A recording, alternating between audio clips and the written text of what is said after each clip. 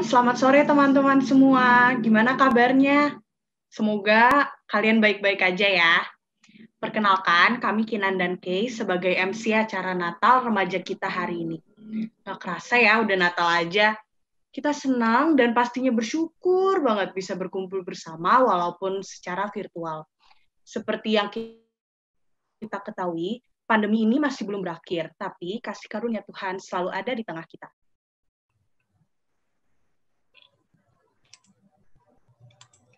Nah, teman-teman, hari ini kita akan memuji Tuhan bersama, mendengar khotbah tentang lahirnya Juru Selamat, dan gak lupa ada perayaan dan games-games juga loh.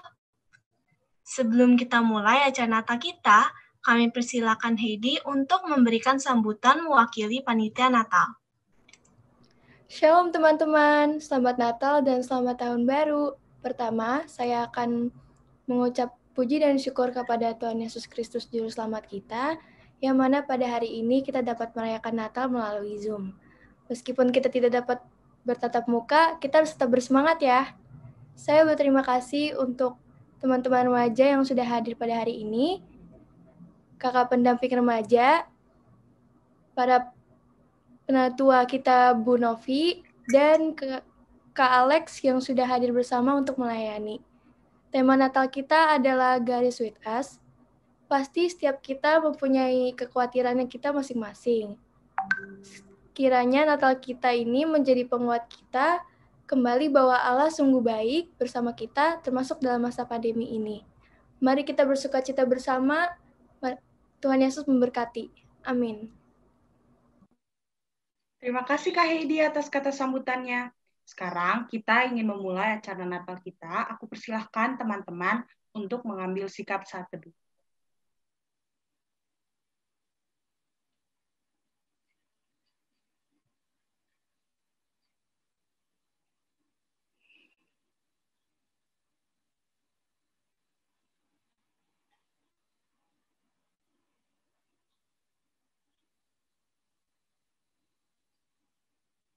Mari kita bersatu di dalam doa. Tuhan Yesus, kami saat ini berdoa dan memohon akan kasih serta karuniamu untuk hadir di tengah-tengah kami. Bila mana saat ini kami sedang hendak mulai beribadah, kiranya Engkau senantiasa memberikan penyertaan dalam ibadah Natal kami hari ini, sehingga hati kami hanya tertuju padamu.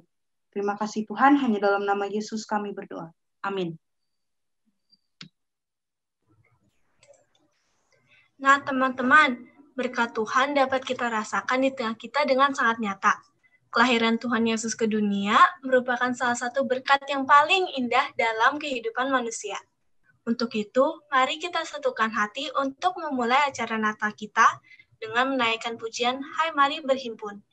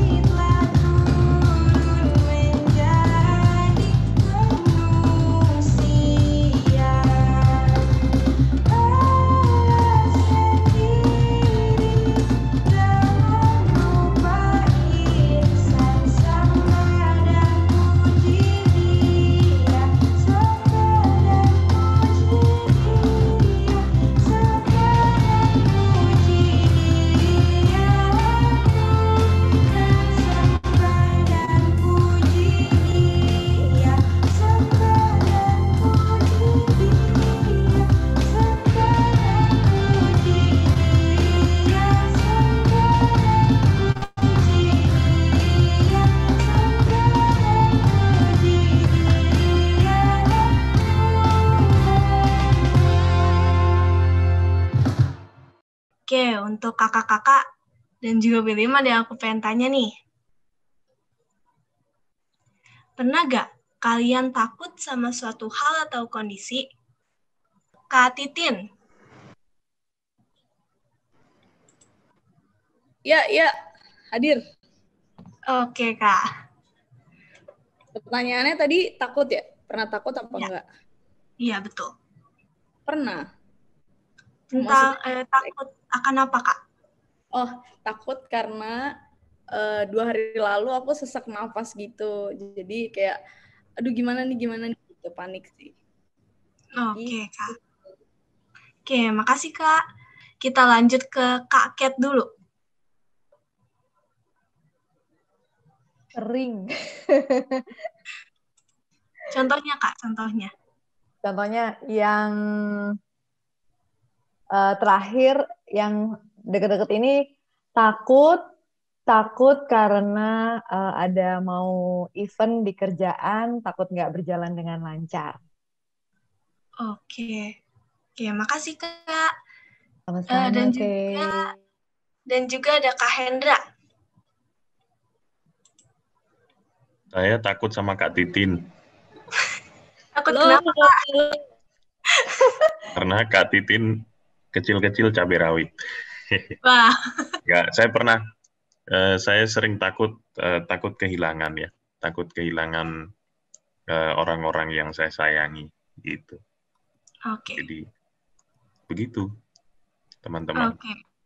Oke, okay, makasih Kak. Kak Steph deh. Halo Kak Steph. Sorry, soalnya deketan sama Stefani tadi. Sebenarnya takut sama Stefani, bukan, bukan takut Stefani. takut sama ular. Gimana cara oh. menghadapinya? lari.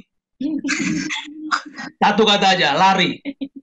Saya beneran takut sama ular. Ya udah, kalau ketemu ular, kemarin minggu lalu baru ketemu ular di rumah. Ya, ya lari. Gitu caranya. Oke, okay. gitu. singkat ya kak, langsung lari. Oke, sekarang Stefani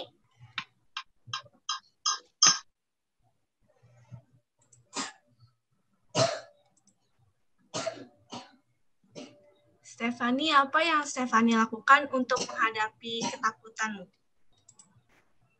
Diam. Apa, maaf? Diam. Mau takut apa dulu? Diam. Aku takut. Aku takut apa? Kamu takut apa? Jawab dulu. Takut papa kamu. takut sama papa ya? Oke, okay, jangan apa-apa kamu diem. iya sih.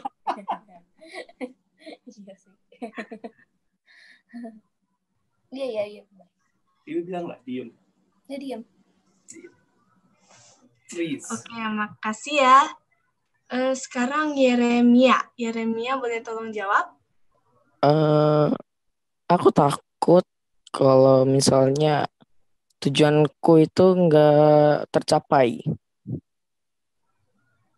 Oke, untuk menghadapinya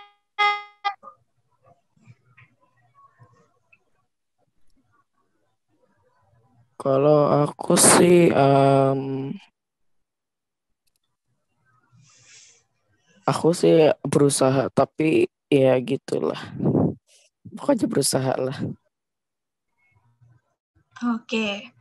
Kasih ya sekarang ke sekarang ke Kak Faithful. Tanyanya sama ya, Kak?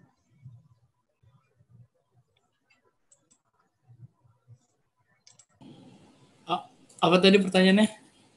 Apa yang kakak lakukan untuk menghadapi ketakutannya kakak? Ya, uh, kalau itu uh, berjuang lah sama minta tolong sama Tuhan. Oke dalam segala ketakutannya selalu gitu kak. Kayak misalnya kalau misalnya takut hal kayak misalnya kak Steph tuh takut ular. Gimana itu kak kalau misalnya gitu? Ya bener kata kak Steph tadi berusaha berusahanya berusaha lari lari secepat mungkin biar nggak kemakan. Oke. Oke Oke, makasih Kak. Kemudian Kak Fabiola.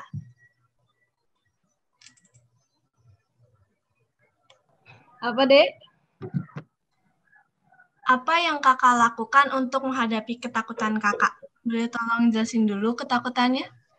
Uh, aku tuh agak bukan takut ya kayak geli gitu atau takut ya udah nggak apa-apa dua-duanya sama balon. Jadi terkadang menghindar itu penting. Oke, jadi cara menghadapinya itu menghindar ya kak? Kita lanjut ke pertanyaan ketiga ya, teman-teman. Um, tadi yang salah di gambar ketiga itu Kak Iim. Aku mau tanya, bisa merasakan kehadiran Tuhan nggak di masa-masa takut gitu? Uh, jelasin takutnya dulu kali ya. Boleh, Kak. Jadi, aku kan takut gelap. Tapi gelapnya bukan, maksudnya gelap kayak ruangan gelap, bukan gelap secara spiritual atau rohani ya jadi kalau lagi gelap ya pasti yang dirasakan bukan Tuhan melainkan yang uh, yang lain-lain. Oke, makasih Kak Iim.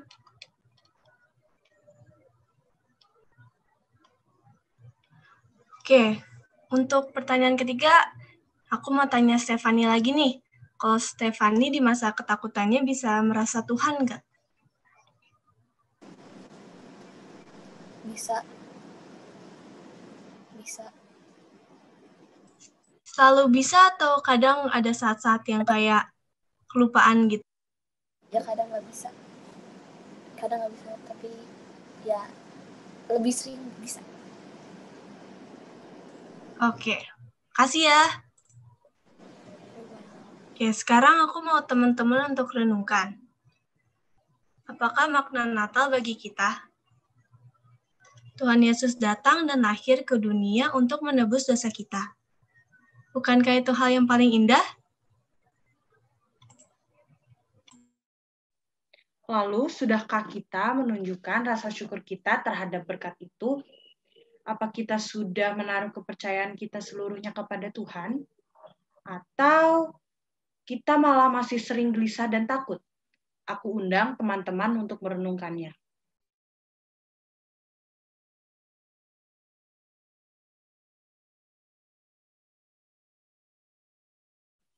Mari kita bersatu di dalam doa. Bapa, kami hadir ke hadiratmu. Kami tahu ya Bapa, Engkau adalah Allah yang maha tahu. Bagaimanapun kami berusaha menutupi segala dosa dan pelanggaran yang telah kami perbuat, tak akan ada yang tersembunyi bagimu. Engkau adalah Allah yang mengasihi kami, namun kami kerap kali tidak mengasihimu, bahkan lari dari hadiratmu. Ampuni kami ya Bapa, layakkan kami untuk menerima berkat-Mu. Terima kasih ya Bapa, hanya dalam nama anakmu, Yesus Kristus kami berdoa. Amin. Sekarang aku undang teman-teman untuk menyatakan rasa syukurnya atas kasih setia Tuhan dengan menyanyikan pujian kasih setiamu yang kurasakan.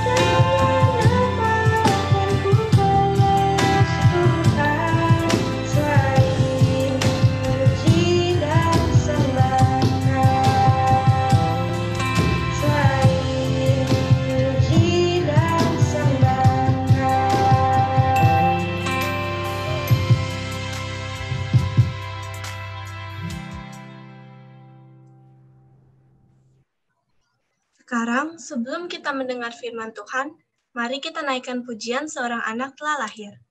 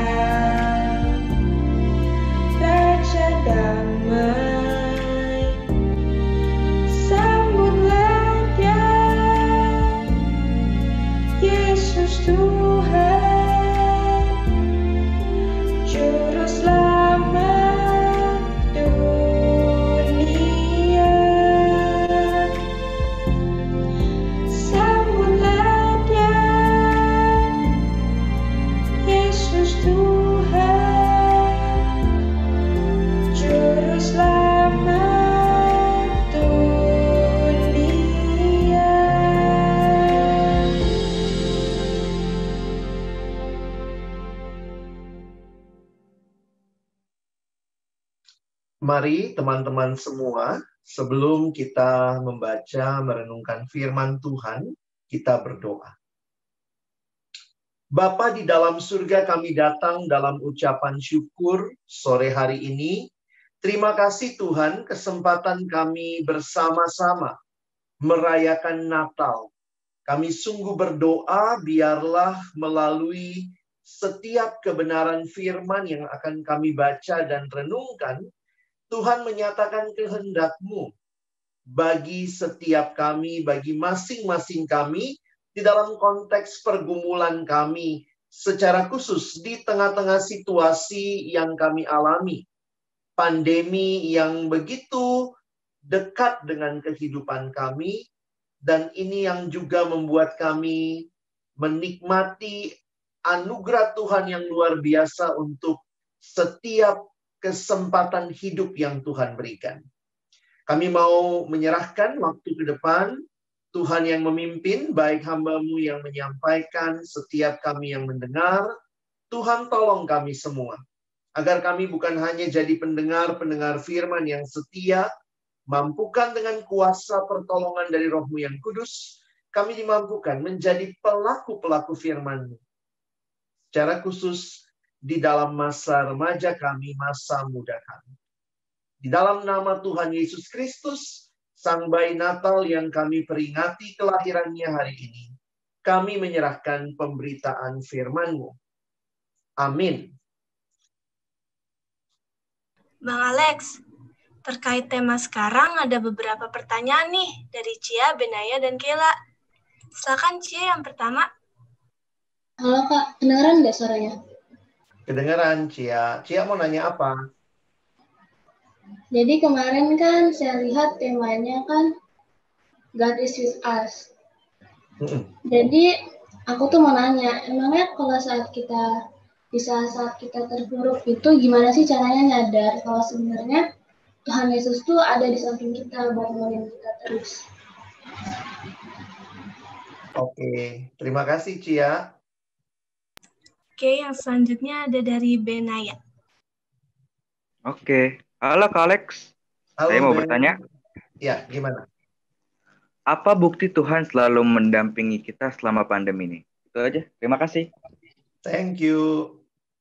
Oke, dan yang terakhir ada Kela. Iya kak, aku mau tanya kak. Kalau kenapa ya aku kalau takut tuh kayak lupa Tuhan gitu kak. Gitu. Hmm, Gitu. Oke. Makasih kak. Ya, sama-sama.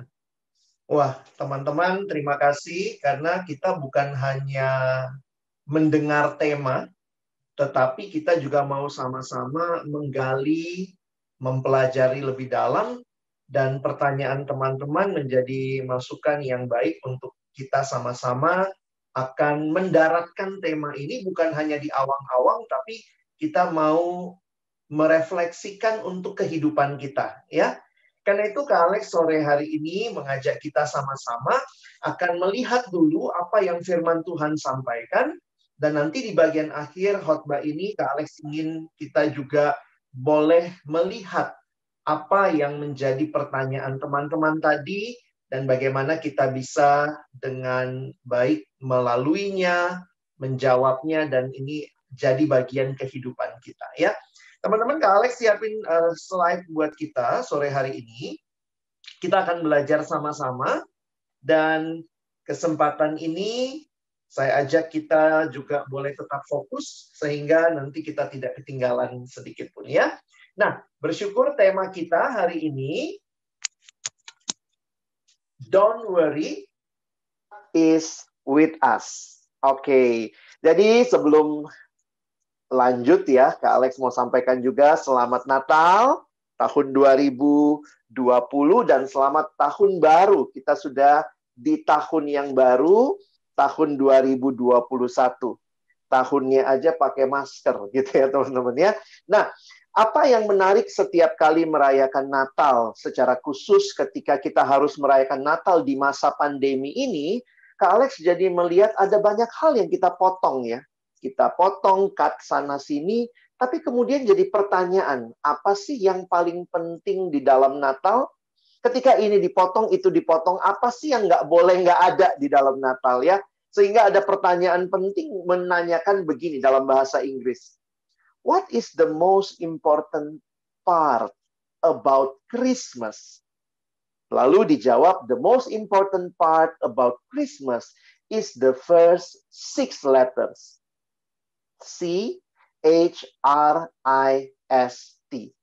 Teman-teman bisa bayangkan, Christmas without Christ tinggal tinggal Mas ya. Ini bukan perayaan Mas-mas ya. Tapi kita mau bicara bahwa Kristuslah harusnya menjadi pusat dari Natal kita. Sehingga Alex suka kumpul gambar karena picture speaks a thousand words. Christmas is empty without Jesus. And Jesus supposed to be at the heart of our Christmas. Harusnya Natal kita pusatnya Yesus. Jangan sampai semuanya dipotong, eh Yesusnya juga kepotong. Enggak ya. Yang kita potong kali ini apa? Enggak ada konsumsi. Wah, tapi tetap ada Yesus dan itulah sebenarnya bagian penting di dalam Natal. Alex ingin kita melihat apa yang menjadi uh, kisah Natal yang pertama. Jadi kita akan melihat dua bagian ya. Tentu kita nggak bisa menjelaskan semuanya karena waktu terbatas. Tapi Kak Alex ingin fokus ke tema kita sore hari ini. Bacaan yang pertama di dalam Lukas pasal yang kedua, kita akan melihat Lukas 2 ayat 1 sampai 20. Kak Alex akan bacakan buat kita, teman-teman boleh ikuti, saya sudah tulis ayatnya semua ada di screen ya. Maaf, uh, saya potong aja. Jadi kita akan membaca mulai dari ayat 8 ya. Baik, teman-teman bisa lihat mulai dari ayat 8. Ayat 8 sampai ayat yang ke-20. Di daerah itu ada gembala-gembala yang tinggal di padang menjaga kawanan ternak mereka pada waktu malam. Tiba-tiba berdirilah seorang malaikat Tuhan di dekat mereka dan kemuliaan Tuhan bersinar meliputi mereka dan mereka sangat ketakutan. Lalu kata malaikat itu kepada mereka, "Jangan takut." Kita hari ini pakai temanya mirip ya, "Don't worry" ya. Jangan takut sebab sesungguhnya aku memberitakan kepadamu kesukaan besar untuk seluruh bangsa.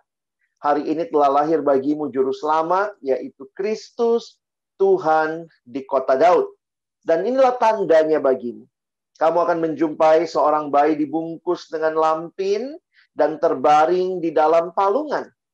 Dan tiba-tiba tampaklah bersama-sama dengan malaikat itu Sejumlah besar bala tentara sorga yang memuji Allah katanya, kemuliaan bagi Allah di tempat yang maha tinggi dan damai sejahtera di bumi, di antara manusia yang berkenan kepadanya. Setelah malaikat-malaikat itu meninggalkan mereka dan kembali ke sorga, gembala-gembala itu berkata seorang kepada yang lain, Marilah kita pergi ke Bethlehem untuk melihat apa yang terjadi di sana, seperti yang diberitahukan Tuhan kepada kita. Lalu mereka cepat-cepat Lalu mereka cepat-cepat berangkat dan menjumpai Maria dan Yusuf dan bayi itu yang sedang berbaring di dalam palungan. Dan ketika mereka melihatnya, mereka memberitahukan apa yang telah dikatakan kepada mereka tentang anak itu. Dan semua orang yang mendengarnya heran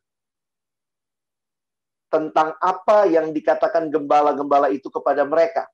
Tetapi Maria menyimpan segala perkara itu di dalam hatinya dan merenungkannya. Maka kembalilah gembala-gembala itu sambil memuji dan memuliakan Allah karena segala sesuatu yang mereka dengar dan mereka lihat semuanya sesuai dengan apa yang telah dikatakan kepada mereka. Bagian kedua yang akan kita baca diambil dari Injil Matius. Kita lihat satu ayat saja ya. Matius pasal yang pertama, ayat yang ke-23. Ini adalah kalimat malaikat kepada Yusuf di dalam uh, penampakan malaikat kepada Yusuf yang waktu itu Yusuf berniat menceraikan Maria diam-diam karena Maria telah mengandung dari Roh Kudus. Lalu malaikat tampak kepada Yusuf dan berkata, "Jangan engkau menceraikan Maria." Ya, lalu lihat kalimat malaikat. Malaikat mengutip apa yang uh, disampaikan ya, uh, penulis Matius menulis apa yang disampaikan di dalam nubuat. Sesungguhnya anak darah itu akan mengandung dan melahirkan seorang anak laki-laki dan mereka akan menamakan dia Immanuel yang berarti Allah menyertai kita. Nah, teman-teman sekalian, saya ingin mengajak kita sore hari ini, waktu kita merenungkan tentang tema ini, apa yang begitu penting di dalam Natal, kita berbicara tentang Yesus. Siapakah Yesus yang kita sama-sama uh, rayakan kelahirannya? Saya pikir ini yang menjadi inti dan pusat dari Natal. Dan apa dampaknya ya ketika Kristus yang lahir itu boleh ada di dalam hidup kita. Nah, Kak Alex ingin kita melihat sore hari ini bahwa Yesus sungguh-sungguh berarti bagi hidupmu.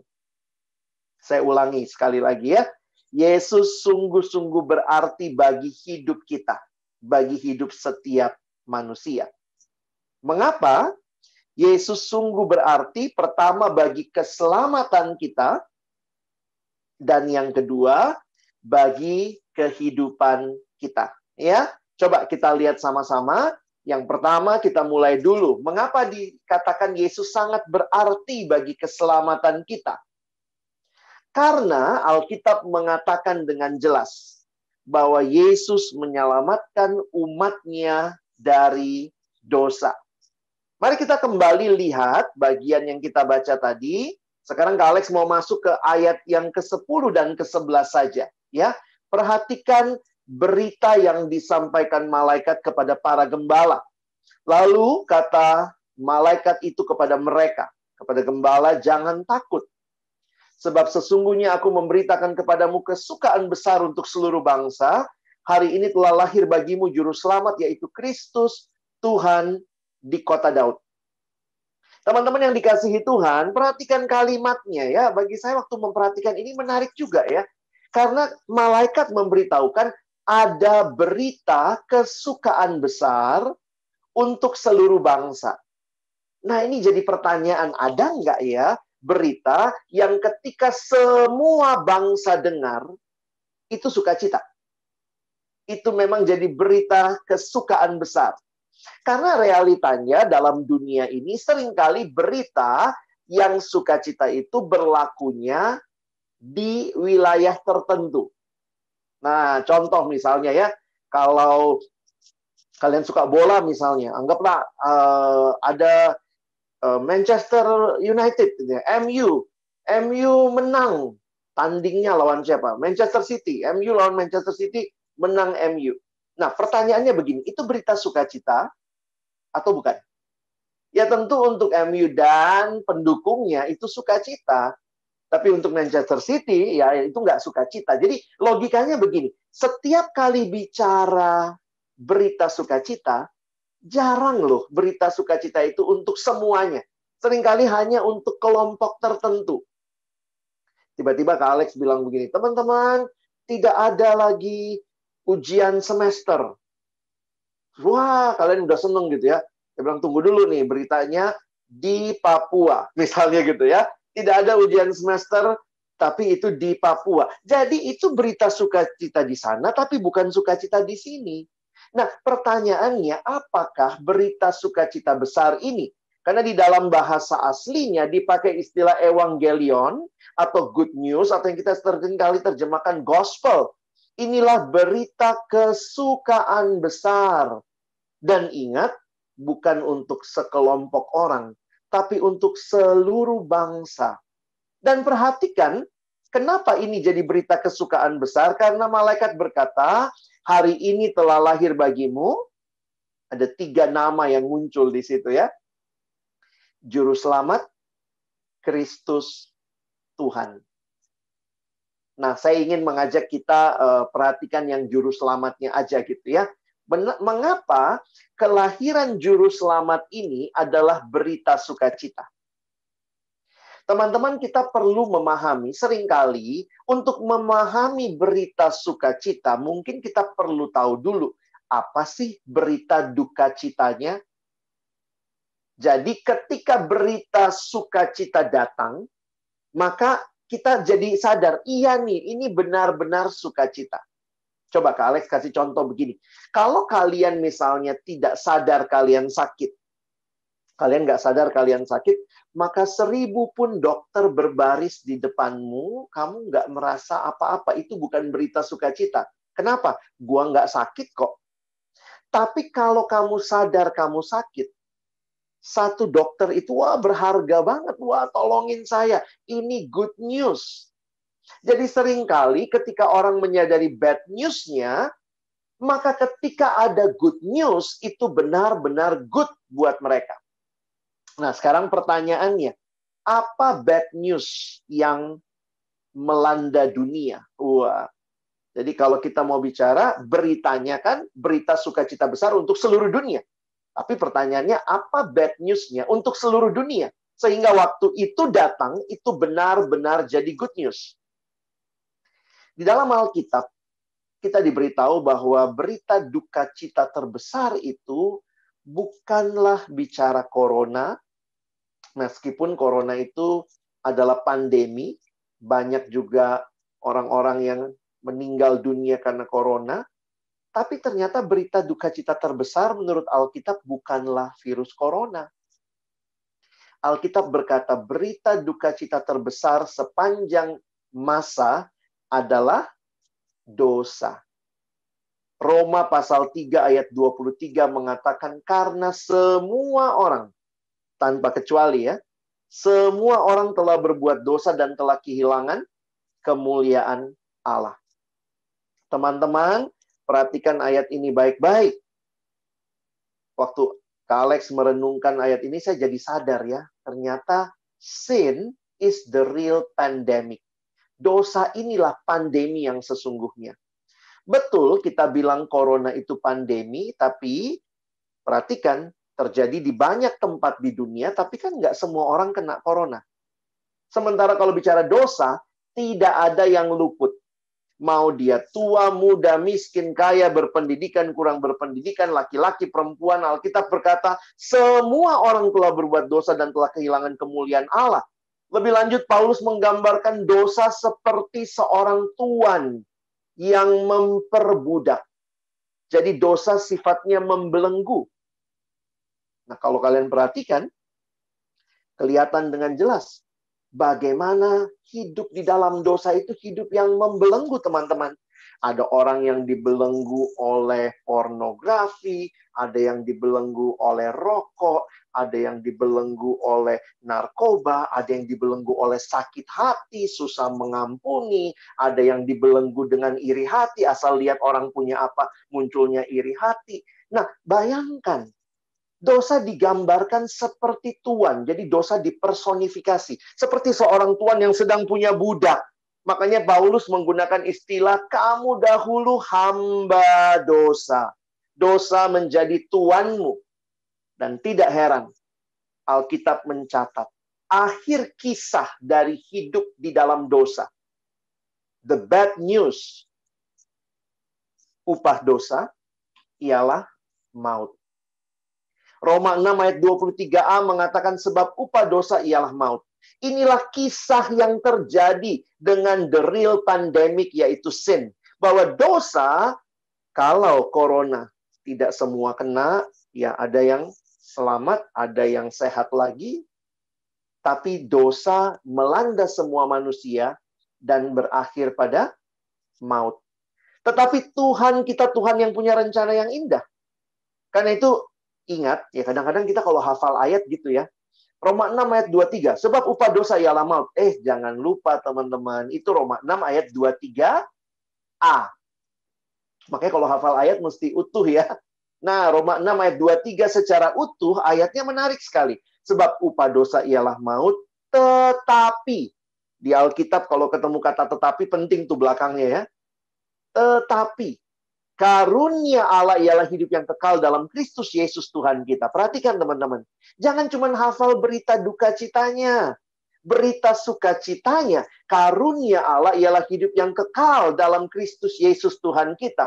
Di dalam dosa berujung pada maut. Maut berarti mati kekal, terpisah dengan Allah selama-lamanya. Tetapi karunia Allah ialah hidup yang kekal dalam Kristus Yesus Tuhan kita. Dosa itu masalah kita, masalahnya manusia. Tetapi manusia tidak bisa menyelesaikan dosanya. Karena itu Allah datang ke dalam dunia. Dosa masalah kita. Tapi solusi atas dosa kita. Yang bisa menyelesaikan dosa kita hanyalah anak Allah yang diutus untuk menjadi solusi bagi dosa kita. Sin is our problem. But Jesus Christ, the God solution for our sin. Sehingga waktu kita mencari hidup itu apa? Searching for the answer to life, Jesus, you have found him. Jadi waktu kalian perhatikan gitu ya, wah, itu gimana tuh?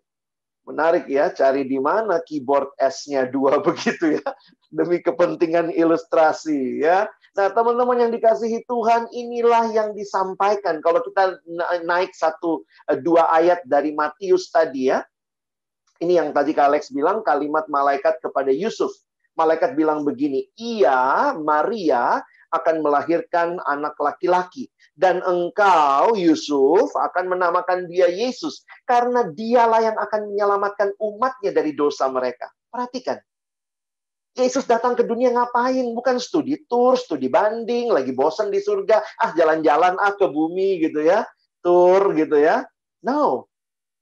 Yesus datang ke dalam dunia untuk menyelamatkan umatnya dari dosa. Teman-teman, ini berita sukacita. Harusnya Natal tidak dirayakan hanya orang oleh orang Kristen. Perhatikan kalimat Kalex. Natal bukanlah sekadar perayaannya orang Kristen. Natal harusnya jadi perayaan dari semua manusia berdosa yang menyambut keselamatan yang diberikan di dalam Kristus. Karena itu harusnya Natal tidak sekadar perayaannya orang Kristen. Yesus kan nggak pernah turun dari surga pakai papan besar. Maaf untuk kalangan sendiri, itu kita yang bikin papannya. Dia datang untuk menyelamatkan manusia dari dosa. Nah, bagaimana kita mengalami ini? Kalau Yesus yang datang itu sangat-sangat berarti untuk keselamatan kita. Maukah kita buka hati terima Yesus dalam hidup kita. Kita alami keselamatan yang kekal dalam iman kepada Kristus. Makanya ada yang pernah nanya sama Kak Alex gini, ya anak remaja tuh ya. Kak Alex, Kak Alex, gimana merayakan Natal? Saya bilang, oh kamu udah nyanyi tadi. Hah? Iya ya. Apa lagunya? Itu yang kamu nyanyi tadi ya, waktu mereka kebaktian, soalnya mereka nyanyi.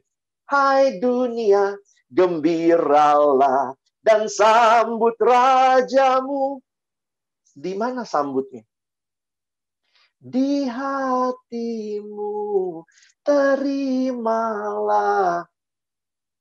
Natal bukan sekadar sebuah acara perayaan, ada bayi Yesus yang lahir, katanya dia menyelamatkan dunia, tapi mari buka hati terima dia dalam hidup kita. Alami keselamatan yang diberikan di dalam Kristus. Dan ketika engkau alami keselamatan itu, maka ingat, kalau Yesus yang datang menyelamatkan engkau dari dosa, maka engkau tidak lagi hidup dalam belenggu dosa. Teman-teman ada komitmen untuk berubah. Ada kerinduan mulai membaca, merenungkan firman Tuhan. Bangun hidup yang berakar dalam firman. Bangun hidup yang bertumbuh dalam komunitas. Teman-teman ada komunitas remaja seperti ini. Kita mau bertumbuh bersama-sama miliki kerinduan untuk hidup berbeda dengan dunia. Ketika dunia membiasakan diri dengan nyontek, kita bilang no, itu bukan gaya hidupku. Cara belajarmu harus berbeda. Kalau engkau belajar, ini masa pandemi ya, kadang-kadang Kak Alex juga sadar, buat siswa itu sulit. Bukan cuma buat siswanya, gurunya juga kesulitan. ya. Apalagi di tengah-tengah situasi seperti ini. Tapi kalau kita mengalami karya Kristus, saya mengatakan kita diberikan kekuatan, kemampuan, bukannya terpuruk dengan kondisi. Teman-teman, bagi anak-anak Tuhan, saya yakin Tuhan rindu engkau dan saya bukannya tenggelam dalam kondisi yang suram.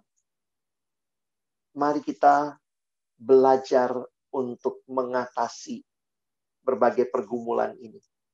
Tetap belajar memberi yang terbaik di dalam studi kita tentu ini pergumulannya, ini bukan kondisi normal, tidak semua suka seperti ini, tapi kita pun belajar untuk tetap memberi yang terbaik.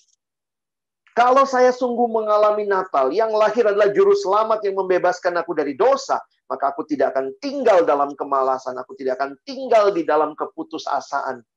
Karena aku punya Kristus. Cara studi kita berbeda, cara bergaul juga begitu ya. Banyak anak muda sekarang sibuk melakukan apa yang dia mau, tapi pertanyaannya, itukah yang Tuhan mau? Tentu, banyak hal dalam hidup kita harus terus evaluasi Tuhan, apakah ini menyenangkan hatimu. Jangan sampai hidup masa muda kita menjadi hidup yang mempermalukan Tuhan. Seharusnya kita hidup mempermuliakan Tuhan. Tipis bedanya ya. Periksa hidupmu. Kalau Natal sungguh kamu alami, bukan lagi kau diikat dalam dosa, bukan pergaulan yang buruk, bukan membuli orang. No, bukan mempermalukan Tuhan dengan hidup kita, tapi mempermuliakan Tuhan. Kalau teman-teman membangun relasi, relasi-relasi kasih ya, dalam masa-masa kalian bertumbuh, kadang-kadang ada gejolak, senang sama orang tertentu. Ya, ini relasi-relasi yang harus dibangun dalam kekudusan. Kak Alex sih nggak terlalu rekomen anak SMA pacarannya, nanti dulu lah. Tapi poinnya belajar untuk juga kalau sudah siap waktu masuk kuliah mungkin sudah siap berpacaran, berpacaran dalam kekudusan.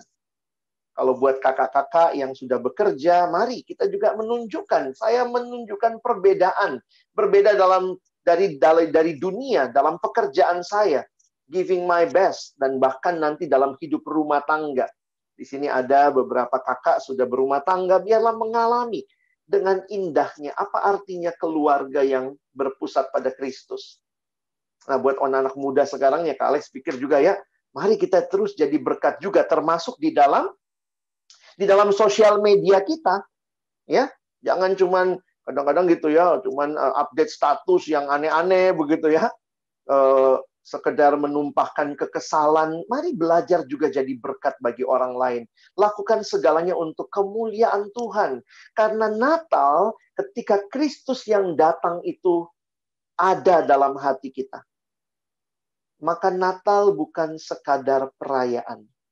Tapi Natal adalah perubahan. Oke? Natal bukan sekadar perayaan, tapi Natal adalah perubahan. Perubahan hidup yang menyatakan bahwa Yesus sekarang hidup di dalam diriku.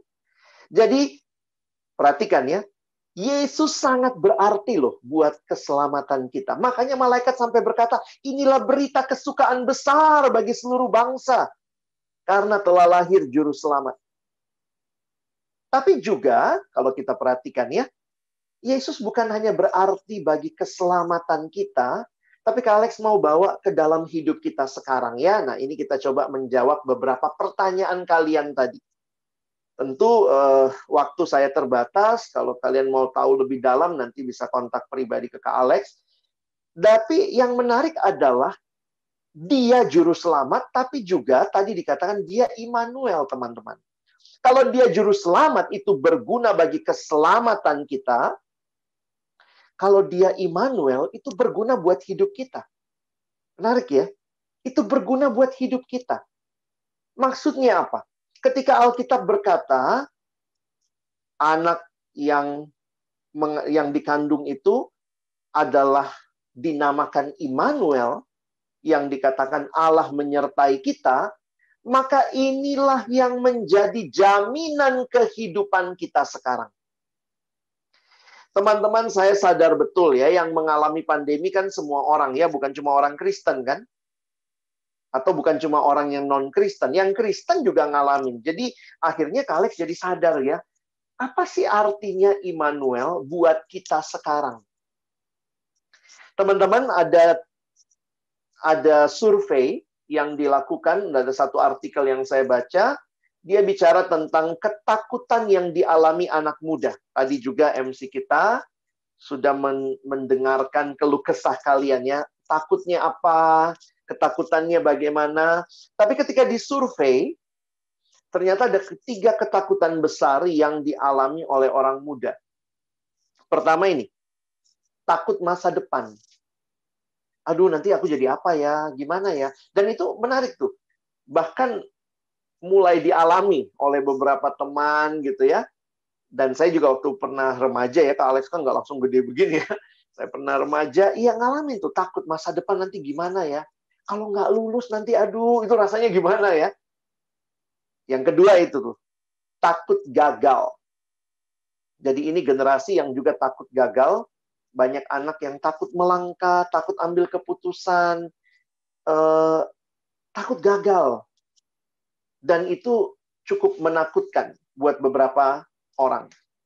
Dan yang ketiga, nah ini menarik ya sebenarnya ya. Ini generasi yang sangat-sangat luar biasa bermedsosnya, tapi juga ini generasi yang sangat takut dengan kesepian. Follower bisa 2000, 3000 ya, tapi kesepian ya. Sehingga ini jadi tiga hal teratas di dalam melihat apa yang jadi ketakutan anak muda sekarang. Dan Kak Alex harus jujur katakan sama teman-teman. Sebagai orang-orang yang ada dalam dunia, apalagi di masa pandemi, teman-teman juga mungkin mengalami ketakutan-ketakutan ini. Dan ada hal yang sangat logis yang biasanya terjadi. Ketika kita mengalami pergumulan, itu tuh kadang-kadang kita langsung merasa, Tuhan kok begini? Tuhan mana sih? Kenapa sih saya dibiarin seperti ini? Apalagi ketika ada hal-hal buruk yang terjadi dalam kehidupan. Kalex cukup lama menggumulkan ini dalam pergumulan pribadi dan dalam pelayanan ketika juga berhadapan dengan realita. Loh, ini orang percaya, dia sungguh-sungguh dalam Tuhan loh. Dia pemusik di gereja, dia pelayanan, dia juga orang yang mungkin jadi majelis. Eh, kok dia ngalamin kayak gini sih? Jadi akhirnya pergumulan itu membuat saya menyadari dan saya menggumulkan apa yang Alkitab nyatakan dan ini beberapa kesimpulan yang saya mau sampaikan buat teman-teman ya. Ternyata Tuhan tidak pernah janji loh di Alkitab kita punya hidup tanpa pergumulan. Tuhan nggak pernah janji. Cari di Alkitab. Ada nggak Tuhan bilang, oh kalau kau ikut aku maka kau tidak akan mengalami pergumulan hidup. Nggak ada. Tuhan nggak pernah janji kayak gitu teman-teman. God never promises that we will never face struggles or problems. Bukan itu janji Tuhan. Berarti orang Kristen ngalamin pergumulan? Yes. Bahkan sebuah kalimat menarik dari seorang sahabat dalam khotbahnya dia mengatakan, ingat baik-baik. Kalau saudara dan saya mau ikut Yesus, ingat Yesus yang engkau dan saya ikuti. Dia Yesus yang lewat jalan salib jalan yang penuh pergumulan. Dia bukan Yesus yang lewat jalan tol. Kadang-kadang kita mau jadi orang Kristen yang tidak alami pergumulan. Tuhan, saya ikut Tuhan, maka saya tidak mengalami pergumulan. Sehingga waktu mengalami pergumulan, biasanya menyalahkan, mana Tuhan? Saya sudah ikut Tuhan, kenapa Tuhan ini terjadi pada diri saya? Kita diingatkan bahwa kehidupan kekristenan kita, kehidupan bersama dengan Tuhan, di dalam dunia yang sudah jatuh dalam dosa, kita mungkin mengalami pergumulan. Ya. Jangan berpikir kita tidak mengalami pergumulan. Lalu kalau begitu apa indahnya hidup Kristen? Dia ngalamin pergumulan, dia nggak percaya Tuhan alami pergumulan. Saya percaya Tuhan alami pergumulan juga. Apa bedanya, Kak? Ngapain mesti jadi Kristen? Perbedaannya apa? Perbedaan yang sangat mendasar bukan mengalami pergumulan atau tidak, karena semua orang mengalami. Tetapi perbedaan yang menarik adalah janji Natal itu. Immanuel. Allah menyertai kita. Berarti Allah berjalan bersama kita juga di dalam pergumulan-pergumulan kita. Wah teman-teman ini jadi satu perenungan mendalam buat Kak Alex di awal tahun ini kalau Tuhan beserta kita, berarti ada nggak Tuhan di pandemi? Ada nggak Tuhan dalam pandemi sekarang? Dia menyertai kita nggak? Karena kenapa? Seringkali kita seperti yang ditanyakan tadi. Kalau lagi ngalamin seperti ini, langsung bilang, Tuhan di mana engkau? Padahal realitanya Tuhan sedang berjalan bersama kita, teman-teman. God walks with us in our struggles. Jadi apa yang indah dari hidup Kristen? Yang indah bukanlah hidup tanpa pergumulan, tetapi hidup yang bersama dengan Kristus. Hidup yang berjalan dengan Kristus. Itulah keindahan hidup rohani kita. Life is a journey with Jesus. Nah, karena itu kalau teman-teman perhatikan, perjumpaan para gembala dengan Yesus itu membuat mereka mengalami perubahan mendasar. Tapi perubahan mendasarnya apa? Coba lihat ya kalimat Alkitab. Sebentar. Maka kembalilah gembala-gembala itu sambil memuji dan memuliakan Allah karena segala sesuatu yang mereka dengar. Kan malaikat bilang ya, kamu harus ke sana, kamu akan menjumpai seorang bayi dibungkus dengan lampin dan terbaring di dalam palungan. Jelas tuh petunjuknya. Bayi dibungkus lampin. Nah, ini ini menarik nih. Dua petunjuk ini semua bayi yang lahir ya bayi dibungkus lampin. Nah, kemungkinannya memang kalau bayi lahir dibungkus lampin itu bukan kain yang terlalu spesial, itu memang kain yang dipakai membungkus bayi begitu ya. Tapi yang spesialnya menarik adalah terbaring di dalam palungan. Dan gembala-gembala itu datang menemukan dan apa yang mereka dengar dan mereka lihat semua sesuai dengan apa yang dikatakan kepada mereka. Teman-teman, Kak Alex mau tanya begini gembala ini kan waktu dia datang visit bayi Yesus, gembala itu ternyata kelompok paling rendah di dalam masyarakat Yahudi. salah satu kelompok paling rendah. Mereka itu orang-orang yang miskin, harus bekerja sama orang lain, dan itu pekerjaan yang dianggap kasar. Tapi bagi saya yang menarik begini. Berita Natal itu datang kepada mereka. Dan mereka berjumpa dengan Sang Mesias. Juru Selamat, Kristus Tuhan. Tetapi kenapa kalimat ini yang kita selalu nanti kita juga nyanyi ya hai siarkan di gunung biasanya gitu. Seperti para gembala marilah kita pulang memuji dan memuliakan Allah. Kenapa mereka memuji dan memuliakan Allah? Coba teman-teman pahami. Apakah gembala-gembala habis ketemu Yesus pulang jadi konglomerat? Wih jadi kaya raya apakah mereka setelah pulang ketemu bayi Yesus lalu mereka punya hidup tanpa pergumulan tidak mereka tetap gembala mereka tetap rendah dalam masyarakat. Tetapi perjumpaan dengan Yesus membuat mereka menyadari bahwa Mesias itu telah datang menyertai mereka. Makanya mereka bisa pulang memuji dan memuliakan Allah. Jadi lihat ya, memuji dan memuliakan Allah bukan karena tidak ada pergumulan. Kalau kamu hanya memuji dan memuliakan Allah karena tidak ada pergumulan, wah imanmu oportunis banget ya.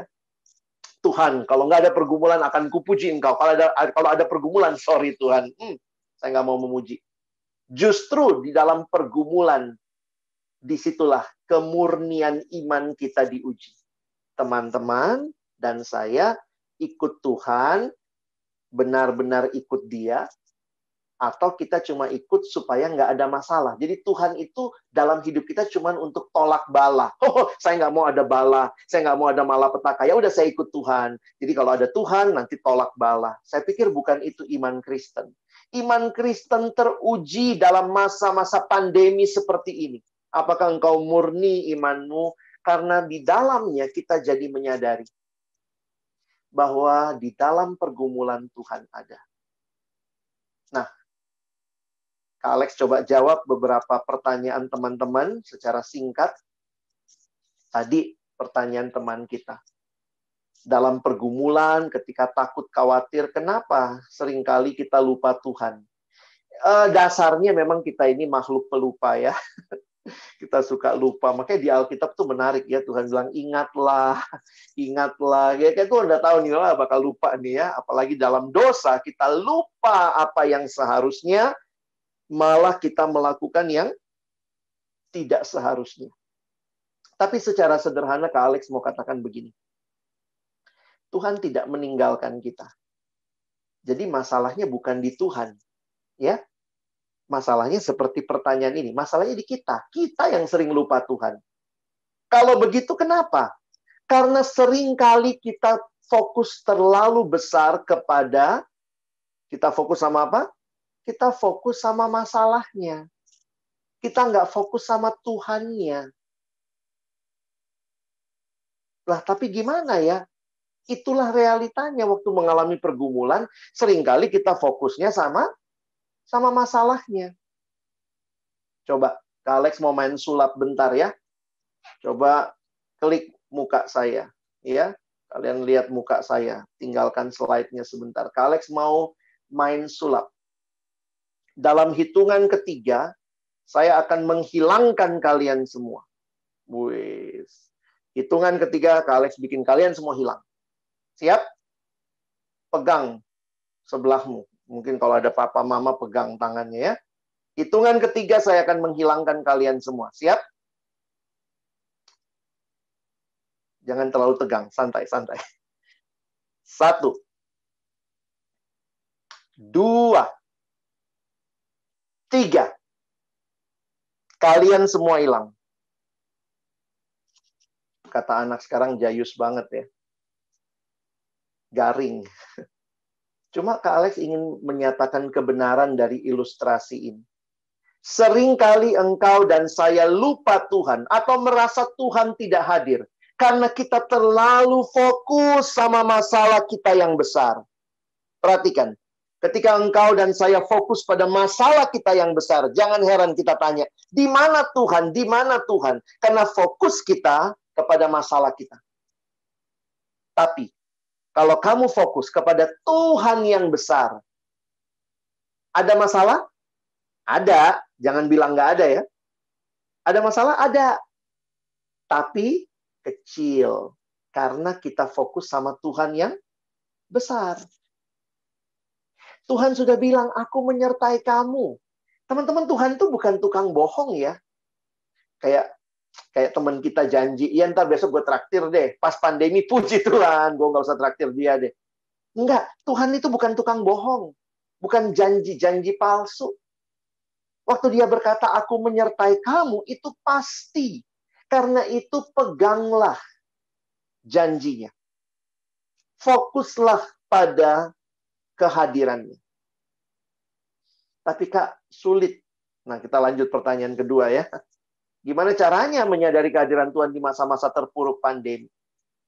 Saya harus katakan, teman-teman, yang menjamin kehadiran Tuhan itu bukan perasaan kita. Kak Alex ulangi ya.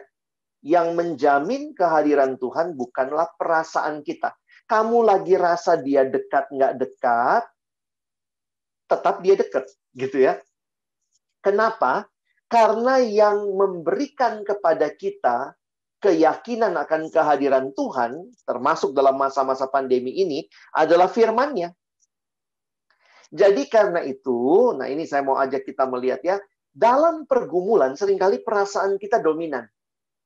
Tuhan kayaknya nggak peduli sama aku. Kenapa ini terjadi? Tuhan kayaknya nggak sayang sama aku. Nah itu tuh, kadang-kadang perasaan kita membuat kita, pokoknya Tuhan nggak sayang, Tuhan nggak peduli. Nah pertanyaannya begini, kamu membangun iman berdasarkan perasaanmu atau berdasarkan janji Tuhan? Tuhan bilang, dan janjinya itu kamu temukan di mana? Di dalam Alkitab, di dalam firman, aku menyertai kamu. Kamu rasa atau kamu nggak rasa, aku tetap menyertai kamu jujur dalam pergumulan hidup yang berat sering kali perasaan kita itu dominan sekali.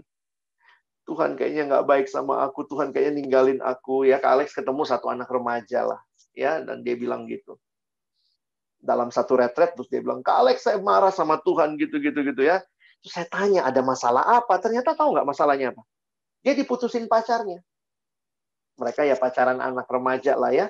Cinta-cinta monyet kali ya jadi waktu itu cewek ini adalah anak yang kurang perhatian dari orang tua, dapatlah cowok yang sangat perhatian.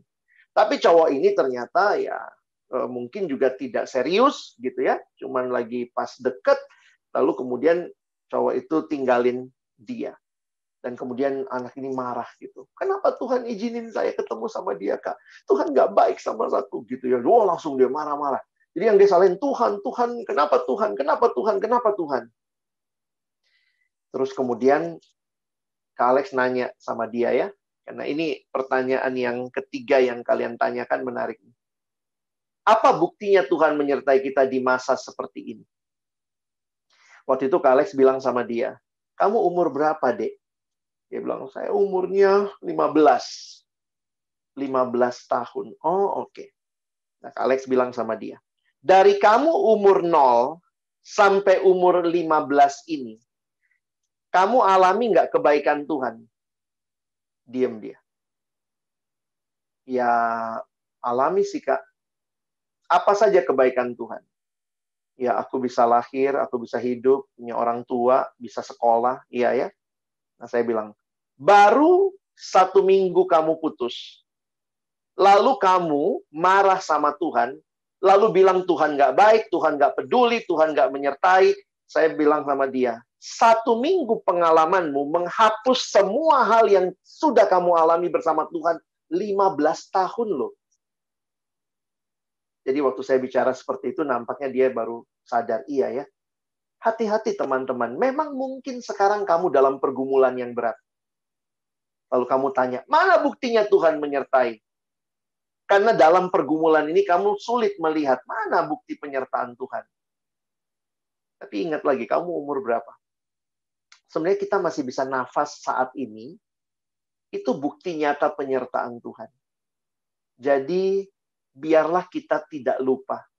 Penyertaan Tuhan tidak perlu dibuktikan, tapi perlu dialami. Karena kalau kita membuktikan, apa gunanya? Buktikan penyertaan Tuhan. Terus Tuhan bilang, aku sudah menyertai kamu. Dan aku tidak meninggalkan kamu. Dan di dalam situasi hidup, manusia itu punya musim hidup. Dari lahir, masa kecil, masa dewasa, masa berumah tangga, tua, lalu kemudian nanti salah satu meninggal, sampai meninggal dua-duanya. Teman-teman ingatlah, Tuhan senantiasa menyertai kita. Kak Alex kehilangan papa tahun lalu. Papa saya meninggal karena sakit sudah tua. Tapi dalam masa COVID ya, jadi wah itu kayak eh, takut juga gitu ya. Waktu mau bawa ke rumah sakit, takut nanti dia kena COVID, malah jadi akhirnya eh, apa? Tapi puji Tuhan di rumah sakit eh, sudah tes, semua dirawat, tidak COVID. Tapi akhirnya meninggal, dan di situ saya jadi menyadari begini teman-teman ya. Saya sering mengkhotbahkan Tuhan hadir, Tuhan menyertai. Tapi jujur, secara pribadi, ketika saya mengalami pergumulan kesedihan yang dalam, dan di situ kemudian saya berseru kepada Tuhan. Saya bilang, Tuhan tolong saya. Hiburkan saya, hiburkan keluarga kami, gitu ya. Teman-teman, itu jadi satu penghiburan yang luar biasa loh. Kadang-kadang kan kalau orang bilang gini, ya lu kalau kalau butuh sesuatu ya datanglah, bicara sama Tuhan, berdoa sama Tuhan. Kadang-kadang kita bilang klise banget sih, ada pergumulan doa minta sama Tuhan. Tapi waktu saya lakukan itu, tahun lalu bulan Juni, tanggal 17 ayah saya meninggal, ketika saya berdoa, teman-teman, itu benar-benar kekuatan, ketenangan, penghiburan Tuhan berikan. Tentu tetap ada kesedihan, tapi tidak berlarut-larut. Dan saya harus katakan, itu adalah ketika saya berseru kepada Tuhan. Itu bukan klise, itu bukan cuman, ya kalau ada apa-apa dalam hidup datang sama Tuhan Yesus. Itu janji Tuhan. Itu bukan isapan jempol, itu bukan ceritanya guru sekolah minggu, itu bukan ceritanya kakak-kakak remaja ya, tapi itu janji Tuhan seperti yang kita pelajari hari ini. Aku menyertai engkau. Aku akan menghibur engkau. Aku tidak meninggalkan engkau. Berdoa. Baca firmannya. Berseru sama Tuhan. Itu kekuatan kita. Itu bukti kehadiran Tuhan. Jadi hari ini kita melihat siapa Yesus. Yesus itu juru selamat. Yesus itu Immanuel. Dan karena itu, ini kesimpulannya ya, Yesus sungguh berarti bagi keselamatanmu dan juga bagi kehidupan. Teman-teman dan saya bisa melangkah dengan pasti. Melangkah dengan penuh keberanian, bukan ketakutan. Melangkah dengan iman, meskipun mungkin begitu gelap. Karena firmannya jelas. Dia menyelamatkan. Dia menyertai. Karena itu kita bisa pulang dan alami tema kita ya. Don't worry. God is with us. Ini bukan sekadar tema remaja Natal kita sore hari ini. Ini firman Tuhan, teman-temanku. Dan Tuhan yang berjanji. Dia Tuhan yang menepati. Apa pun pergumulanmu, berseru pada Tuhan. Dia dekat. Dia Immanuel. Amin. Mari teman-teman yang dikasihi Tuhan. Kalau engkau sungguh mengalami Natal, alamilah kehadiran Sang Juru Selamat di hatimu. Alamilah penyertaan Sang Immanuel. Seperti terang yang datang, menerangi kegelapan. Maka kita pun akan mengalami itu. Ketika kita buka hati kita kepada Tuhan. Dan ketika engkau diterangi hatimu, maka biarlah melalui hidupmu terpancar juga terang kepada dunia ini. Dunia yang sedang ada dalam kegelapan, dunia yang sedang mengalami ketakutan, dunia yang sedang mengalami kegelisahan karena pergumulan dosa dan juga pandemi ini. Mari orang-orang Kristen yang adalah terang dunia. Hadirlah. Bawa terang Kristus bagi dunia ini. Supaya bukan engkau saja yang mengalami don't worry, God with us. Tapi biarlah orang-orang yang punya pergumulan dalam dunia juga boleh berjumpa dengan Sang Immanuel dan boleh hidup di dalam kasih dan kehendak Tuhan. Simbolisasi penyalaan lilin setiap Natal kita lakukan menandakan terang itu telah datang. Terang itu menerangi hati yang gelap. Terang itu menyinari dunia yang gelap. Mari kita refleksikan hal ini. Kalau engkau mau ambil komitmen, membuka hatimu bagi Yesus, berdoalah secara pribadi. Ketika kita akan menyalakan lilin, biarlah kita kembali mengingat terang yang telah datang itu. Dan jangan berhenti sampai di situ. Jadilah terang, membawa terang Allah bagi dunia ini. Mari kita masuk dalam momen refleksi penyalaan lilin ini. Dan kita akan bersama-sama menaikkan pujian Oh Holy Night. Thank you.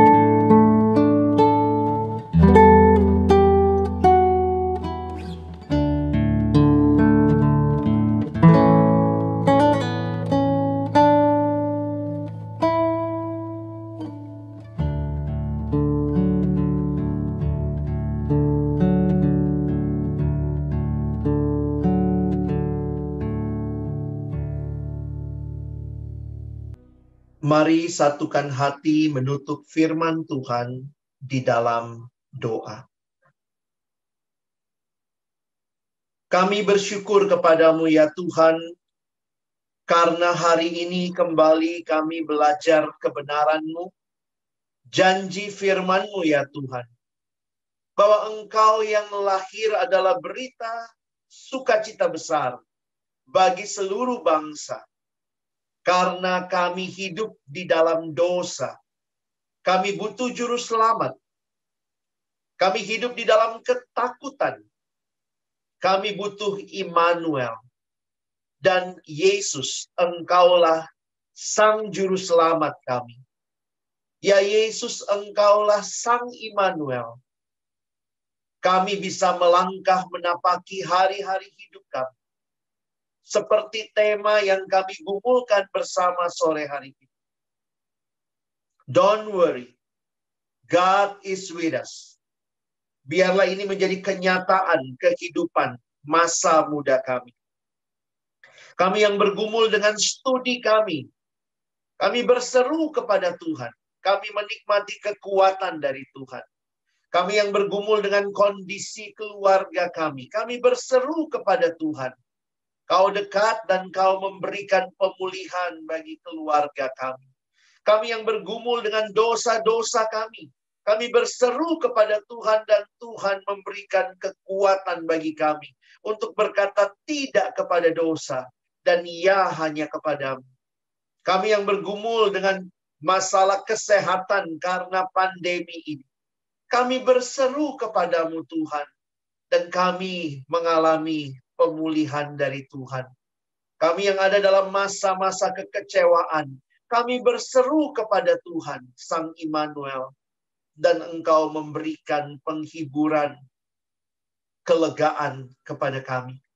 Tuhan ingatkan kami bahwa kami tidak berjalan seorang diri, tapi kami berjalan bersama Tuhan, dan Engkau hadir di dalam langkah-langkah hidup kami. Tolong kami baik semua remaja, seluruh pembimbing, seluruh kami yang melayani Tuhan, ingatkan kami bahwa Engkau Allah kami yang kekal, yang menyelamatkan kami. Tetapi Engkau juga begitu dekat dengan kami di setiap langkah hidup dan pergumulan kami. Engkau ada. Tolong adik-adik remaja, boleh benar-benar percaya kepada Yesus berseru kepada Yesus di dalam langkah-langkah hidup mereka. Mereka yang takut akan masa depan. Mereka yang takut dengan kegagalan. Mereka yang takut dengan kesepian. Biarlah mereka datang berseru dan mengalami kehadiran Tuhan yang memimpin hidup setiap kami. Dan seperti lilin yang telah kami nyalakan, biarlah melalui hidup yang sudah diterangi oleh Tuhan, kami pun boleh hadir membawa terang itu kepada dunia di sekeliling kami. Terima kasih Tuhan, kami bersyukur untuk firman-Mu, kami bersyukur untuk refleksi penyalaan lilin. Di dalam nama Tuhan Yesus, kami bersyukur, kami telah berdoa. Amin.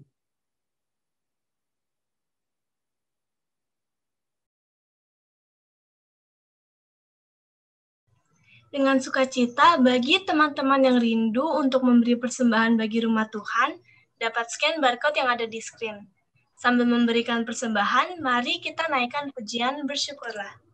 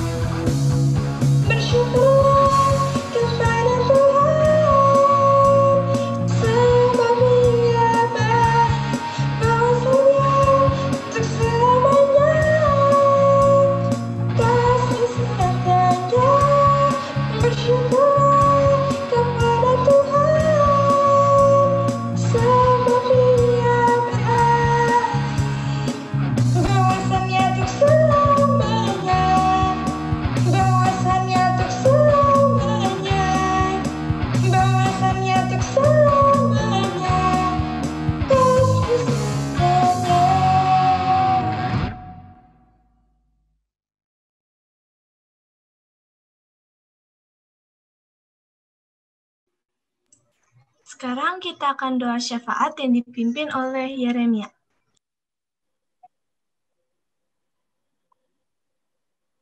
Mari kita bersatu dalam doa. Bapa yang ada di kerajaan sorga, kami ber- kami ingin berterima kasih karena berkat Engkau kami bisa masih bisa di sini mengikuti ibadah Natal kali ini di rumah kami masing-masing. Bapak, terima kasih. Kami berterima kasih untuk firman yang sudah kami dengarkan. Ajarilah kami untuk selalu mengamalkan firman-Mu setiap harinya. Bersyukur Tuhan untuk pelayanan-pelayananmu yang telah bertugas dalam PJ ini seperti Kak Alex yang telah menyampaikan firman-Mu dan tepat hari ini Kak Alex juga berulang tahun yang ke-47 tahun. Berkatilah Kak Alex agar selalu semangat menjalani pelayanan dan juga pekerjaannya. Dan juga berkatilah keluarga Kak Alex agar selalu kau lindungi dari segala mara bahaya. Berkati juga Kinan dan juga Kay sebagai MC yang telah mengiringi ibadah ini. Pemusik-pemusik dan dan penyanyi berkati juga mereka yang telah memberi puji-pujian untukmu ya Bapak. Bapak, kami ingin berdoa untuk segenap keluarga kami agar selalu terlindungi dari mara bahaya. Dan juga kami ingin berdoa untuk kakak dari Kak Vero dan juga papa dari Kak Vito dan Kak Jonathan yang telah dipanggil ke sorga. Berkatilah agar amal ibadah mereka diterima di- dan duduk di sebelahmu ya Bapak. Berkati juga keluarga yang kehilangan, semoga, semoga mereka mendapatkan penghiburan dan juga bersedih lagi. Dan juga ya Bapak, berkatilah gereja GKI Kangran dan juga remaja GKI Kangran agar selalu berkembang dan menjadi lebih baik. Bapak kami juga ingin berdoa tentang negara kami ini. Terdengar bahwa ah, jumlah orang yang terjangkit virus corona ini semakin meningkat. Berkatilah para warga negara Indonesia agar selalu mawas diri sebelum mendapatkan vaksin yang beberapa hari lalu sudah digunakan oleh beberapa orang di Indonesia. Ya Bapak, di tahun sebelumnya kami tahu kami telah membuat banyak kesalahan dan juga dosa. Berkatilah kami agar agar tahun di tahun baru yang baru ini semoga kami tidak menjalankan dosa lagi dan juga kami panjatkan Pak panjatkan syukur untuk setiap harinya di tahun yang baru ini. Ya Bapak, doa yang kami yang kurang sempurna ini kami panjatkan dalam namamu. Dalam nama Yesus Kristus kami telah berdoa dan dan, ber- dan mengucap syukur. Amin.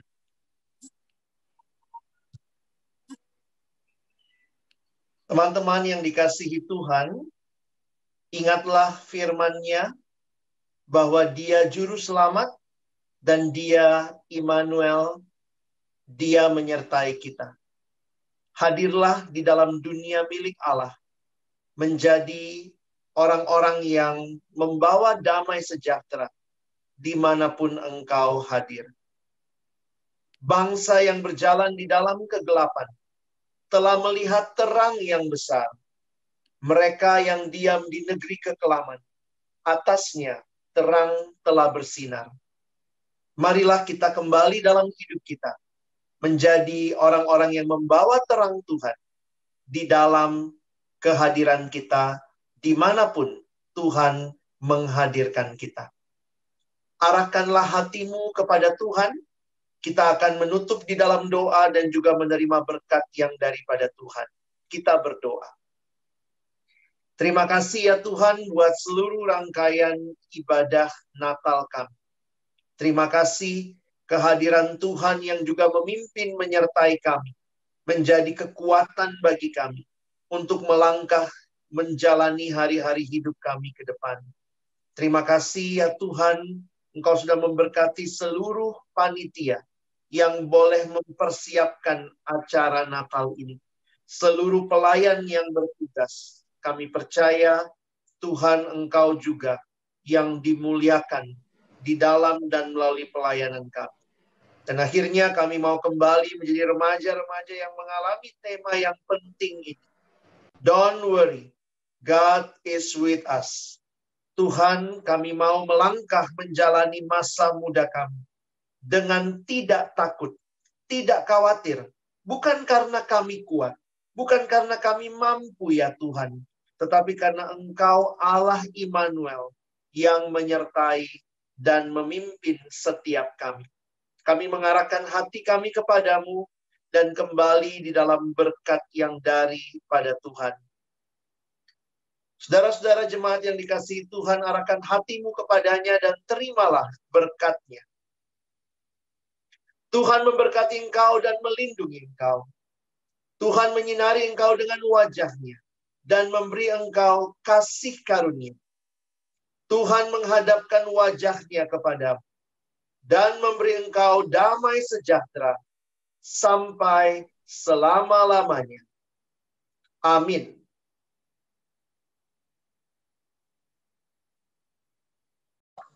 Jadi teman-teman, kita sudah di akhir ibadah. Sudahkah kita belajar tentang berharganya kelahiran Yesus yang membawa berkat keselamatan bagi kita? Karena Tuhan Yesus dilahirkan, kita mempunyai pengharapan akan hari esok sehingga kita tidak perlu takut lagi. Nah, teman-teman, setelah ibadah Natal kita akan ada games-games seru nih. Jadi nanti jangan leave Zoom ini dulu ya. Sebelum itu, untuk menutup ibadah Natal kita, kita akan menyaksikan pujian persembahan video Hai Siarkan di Gunung oleh panitia Natal ini.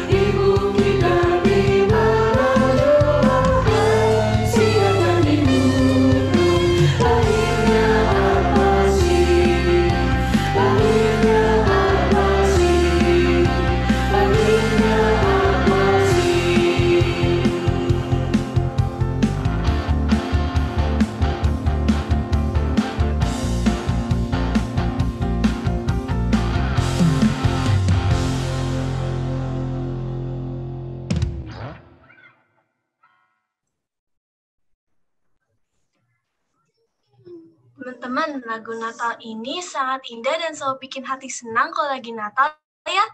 Ternyata lagu Hai Siarkan di Gunung ini adalah lagu spiritual yang dikompilasikan oleh John Wesley Ward Jr. dari setidaknya tahun 1865. Lagu ini telah dinyanyikan dan direkam oleh banyak penyanyi gospel.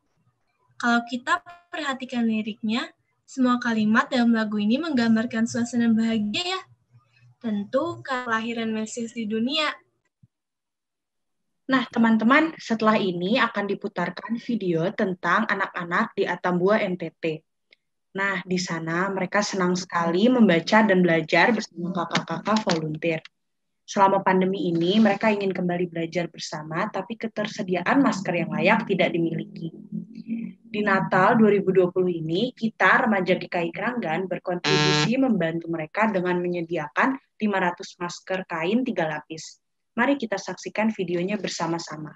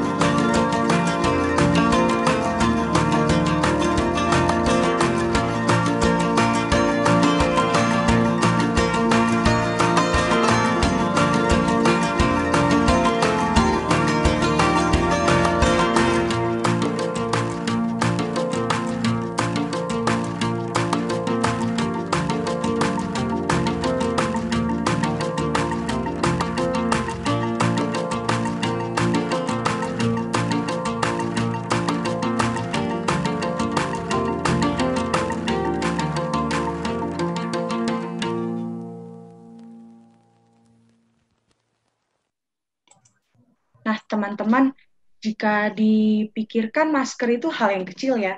Tapi kalau hati kita adalah hati yang penuh kasih saat memberi, itu akan menjadi berkat bagi mereka. Mari terus menjadi berkat bagi orang lain sama seperti lilin tadi. Kecil tapi menyinari sekelilingnya. Nah, teman-teman, kita udah selesai ibadah nih. Kita foto bareng dulu yuk. Teman-teman boleh tolong buka videonya ya.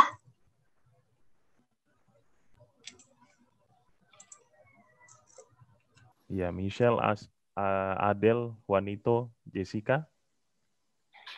Panggilan terakhir kawan-kawan. Aba-aba kas Kak Hendra kita kangen tuh dengar Kak. Kayaknya aba-aba foto kita pakai aba-aba kas Kak Hendra ya. Oh, tapi setelah dipikir-pikir aba-abanya Kinan tadi lebih bagus dari punya saya tuh. Tapi oke okay lah. Baik, teman-teman ya. Dalam hitungan yang ke-300, kita pasang senyum lebar sampai ke rumah tetangga kita. Bukan tetangga saya ya. 100, 200, 300. Oke, terima kasih teman-teman semua. Saya kembalikan ke Kinan dan Kay ya. Oke deh, sekarang kita mau berterima kasih nih. Yang pertama untuk Bang Alex yang bisa bergabung untuk merayakan Natal bersama kita. Terima kasih ya Bang Alex. Sama-sama. Terima kasih teman-teman semua. Alex. Tapi sebentar Bang Alex, ini ada tradisi di GKI Keranggan kalau ada yang ulang tahun itu nggak boleh cepat-cepat pergi Bang. Harus ada yang nyanyiin dulu selamat ulang tahun. Ada yang mau ngasih surprise ini, mau ngucapin selamat ulang tahun dengan bernyanyi nih. Silakan, silakan Kak. Oke, mari ya untuk Heidi, Febiola, Didis, kita nyanyikan juga bagi teman-teman yang lain ikut menyuarakan dari tempat masing-masing.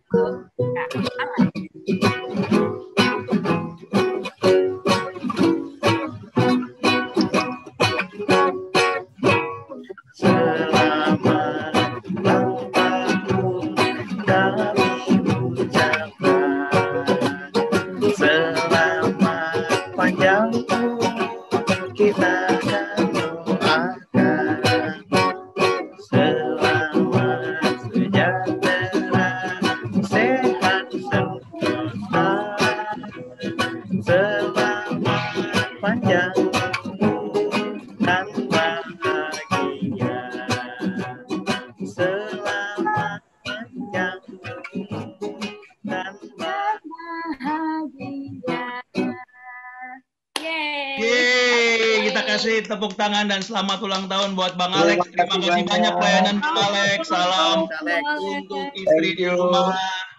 Ya, Salam buat semuanya. silakan Thank you, Bang. melanjutkan acara. Selamat main games ya. Terima Oke, Sehat ya Bang Alex. Ya, sama-sama. Terima kasih, Makasih Kak. Alex. Sehat. Terima kasih juga buat teman-teman di YouTube.